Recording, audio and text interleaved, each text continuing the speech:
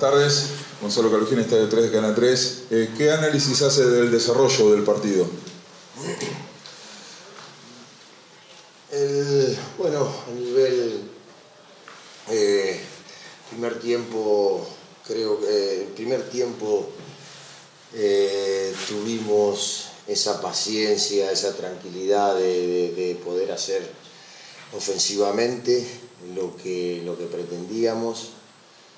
Eh, sabiendo el peligro del, rival, eh, generamos. El segundo, el segundo tiempo creo que ellos se posicionaron muy, muy, con mucha gente atrás y nosotros no tuvimos esa paciencia que teníamos en el primer tiempo, por los, yo creo que también por, por el querer llegar lo más rápido posible a, a tener esas situaciones, a no equivocarnos las vías, pero sí que posiblemente se necesitaban un pase para atrás o un pase al costado antes de ese pase eh, eh, para adelante. Eh, también hemos, hemos jugado en campo propio de lo que hacíamos. Y bueno, y después el, gol de ellos que fue, que fue bueno, tuvimos tres pérdidas que no, no las teníamos, no era algo que, que este equipo suele, suele hacer. Fueron tres duelos que hemos perdido y cuando perdés tres duelos eh, también tiene la posibilidad que el rival marque. Gabriel, acá estamos en vivo para Radio 2. Sobre el gol anulado a Brian Aguirre te quiero consultar. ¿Pudiste ver las imágenes? Porque hay mucha polémica, ni siquiera con las imágenes del bar queda claro que, que se cobró. ¿Qué crees que te diga? Sería bueno también que eh, yo no sé cómo es la historia del VAR, pero en un partido, depende de la importancia del partido, traen dos cámaras, cuatro cámaras, ocho cámaras y las próximas 16. Que eso lo tendrían que decir ustedes también, ¿no? Y posiblemente hay cámaras que no se ve. Ya nos pasó con otras, con otras acciones. Eh, pero bueno, ellos son los que deciden. Eh, como le dije al árbitro, cuando vos te equivocás, no pasa nada, yo me equivoco, a mí me echan y está claro. Pero aparte, aparte que yo digo, lo del bar es algo eh, muy bueno, pero eh, si traemos todas las cámaras, los traemos todos los partidos, porque cada partido es importante. No es un partido menos importante por el tema de la televisión o por algo. Todos los partidos, o para, para mí, o pregúntenle a cada entrenador de cada equipo si no es importante un partido, ¿no? Porque dependemos de eso. Eh, y lo de la situación sí está ahí, pero bueno, yo creo que ya está claro, véanlo ustedes, saquen las conclusiones. ¿Tendría que ser más rápido el VAR también?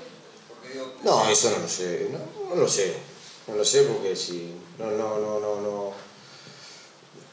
sí para no estar tan, pero bueno, no, no, no, te puedo decir, no, preferiría que sea más lento, pero que sea, que sea bueno o que tengan las herramientas que deben tener, no que un partido tengan todas las herramientas y al otro partido no tengan Hoy se vio, está claro, y eh, eh, hubo otras situaciones, pero no solamente a nosotros, es a todos los equipos. ¿eh? Yo no estoy hablando de que soy perjudicado de mi equipo, sino a todos. ¿Qué te dijo el árbitro cuando, le mencionaste eso de, No, no, no, pero hablamos por una, por una ah, falta, una falta nada más.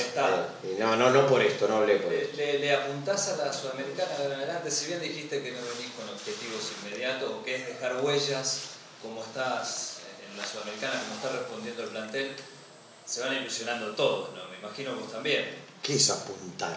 No entiendo lo que es apuntar. A, pelearlo hasta el final de todo y ser más ser protagonista. ah, entonces no juego más, ¿no? no juego... hoy, lo, está haciendo este bueno, entonces vamos, decime de vuelta la pregunta, si ya, si ya te digo que no voy a apuntar. Si, si le vas a seguir apuntando solamente a eso y no tanto como se está quedando relegado en el campeonato. Bueno, entonces no juego, más, no juego más en el campeonato, no, voy a ser competitivo. Es una pregunta que te hago. Por eso no, no, hay no hay apunte de nada, ningún entrenador apunta a una cosa o a otra.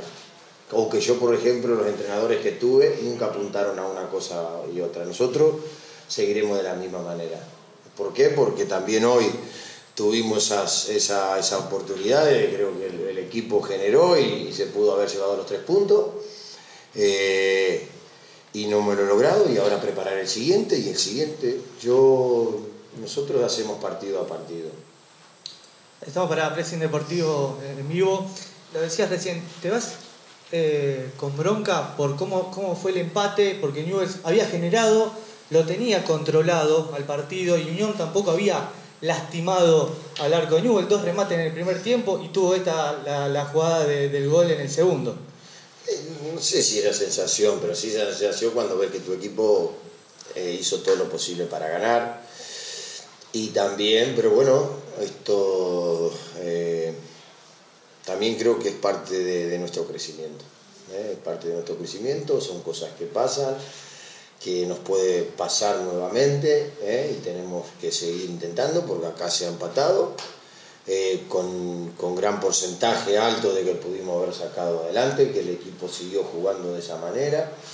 Y y yo tampoco voy a hacer un drama porque también tengo, y voy a reconocer lo que están haciendo estos chicos. A mí no, un resultado no me va a opacar o no va todo lo que están haciendo ellos. Así que si nos vamos eh, triste porque no pudimos ganar en casa para darle una alegría a la gente y que lo, también hicimos los méritos para eso.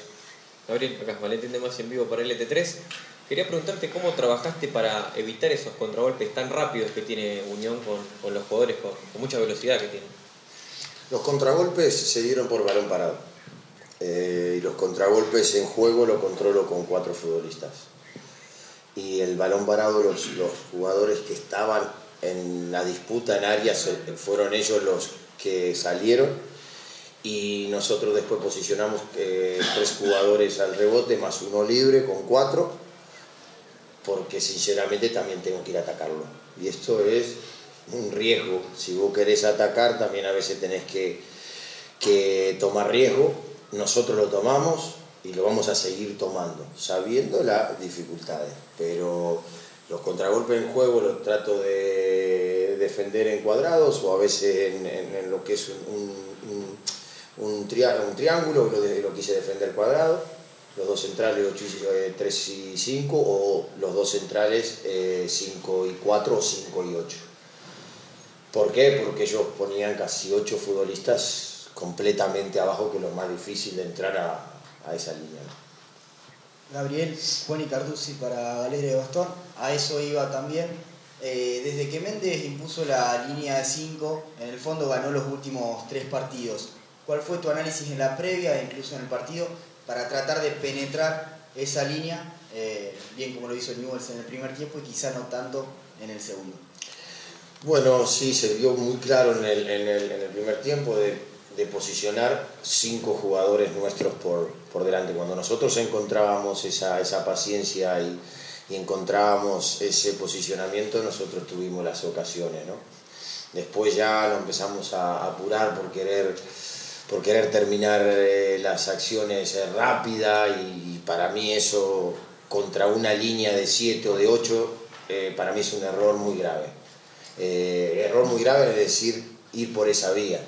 Y los entiendo porque yo también jugué y a veces querés, querés ir para adelante, a veces un pase atrás o un pase al costado se ve mal y cuando lo buscábamos y lo encontrábamos, en el primer tiempo se vio. Pero por, por, para, para decírtelos, el posicionamiento de exactamente igual, ellos de la línea de 5, nosotros teníamos que poner 5. Gabriel, ¿cómo? Gabriel, ¿cómo estás? Lucas Romero para charla técnica. Te consulto ya sobre la recta final del torneo y ya terminando la fase de grupos de la Sudamericana. ¿Qué valoración haces del trabajo realizado hasta el momento? No, no me gusta.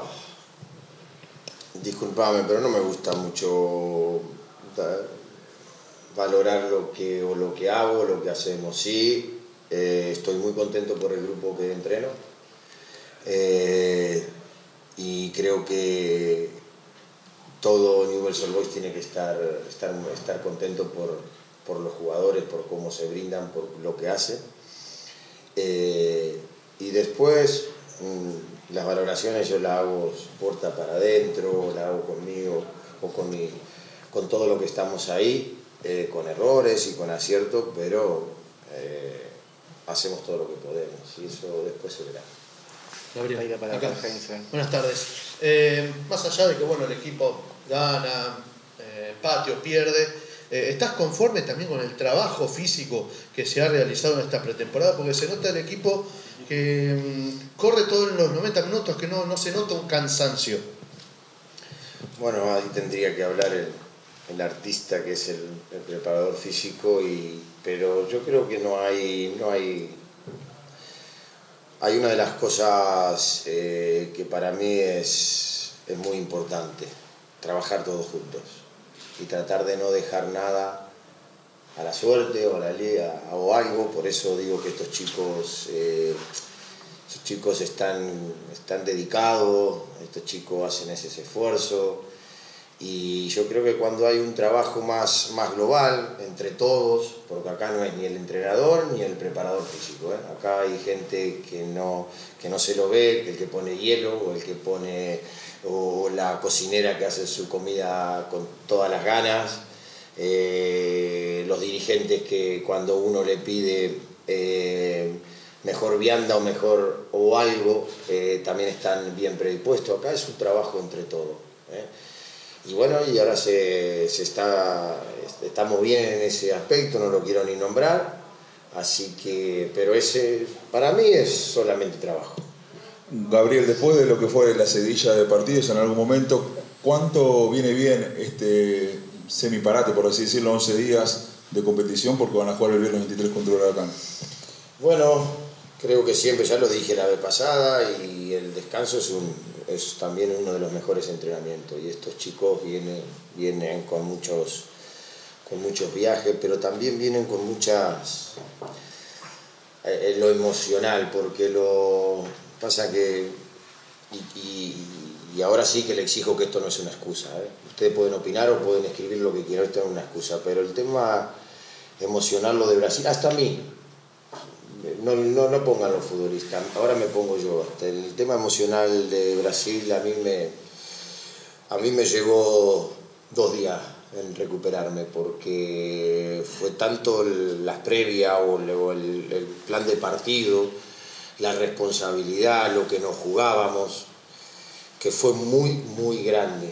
Y miren, mira que te habla una persona que ya convivió con muchas cosas. Imagínate a chicos de 20, 21, 22, 23 años, que o, casi todos era la primera vez que estábamos jugando esa, esta, esa instancia, ¿no? Entonces fue, fue de mucha energía y después eso se viene. Me pasó a mí que, que me costaba también empezar de vuelta todo, a poner todas las energías. Y bueno, lo hablamos entre todos y todos nos ayudamos y hoy también el equipo estuvo, y el equipo estuvo en, en, en campo en un horario que, que, es feo jugar porque no me gusta, eh, con una cancha lenta, eh, pero bueno, el equipo respondió. Gabriel, recién te decía el colega acerca de este parate que viene, ¿tenés planificado hacer algún amistoso? No, nada. No, no, no, no, no ni lo pensé solamente pensé en dar más días de descanso y trabajar en otros conceptos o dar menos días de descanso y trabajar en otro concepto. Ahora hay que decidir, sí sé o sí sabemos que hay que dar descanso, que, el, que, que tanto físico como cabeza hay que dar. Lo, lo, único que tenemos que decidir es cómo repartimos ese descanso y, y en, qué, en, qué, en qué trabajamos. Pero eh, amistoso no, no, no, porque también tengo un poco de miedo que, eh, que cuando no estás ahí que te relajas demasiado, eh, pueden haber problemas y nosotros no podemos tener hoy ningún problema. Eh, así que solamente va por cómo ponemos todos los días de descanso que yo quiero darle y el trabajo que hacemos. Gabriel, acá Hernán Cabrera para, para LT8. Eh, te quería preguntar, no, no tuvimos el chance eh, por la llegada de Pablo Viñazú a la coordinación de, del fútbol, sabiendo que para vos me imagino que es un puesto sensible después de lo que, de lo que ha pasado con, con Horacio, ¿no? Bueno, eh, sí, muy sensible y, y ahora lo recuerdo todavía mucho más. Pero acá lo más importante que para mí se necesita una persona que, que esté en ese puesto. Eh, nada, acá lo más importante es que Pablo vino a ayudar a la institución, no vino ni a ayudar ni a Gabriel Eince, ni a, al presidente, a, a, nadie, vino ayudar a la institución como vinimos nosotros. Así que nada, yo estoy, estoy muy contento porque primero no tengo capacidad para muchas cosas. ¿eh? Por el tema esto de lo social y el hablar con más gente de mi entorno se me complica. Así que nada, yo estamos ahí, ahora Pablo ya empezó a desarrollar lo que él tiene pensado, que lo más importante es que venga a ayudar a trabajar y tirar todo para adelante. Muchas gracias. Gracias.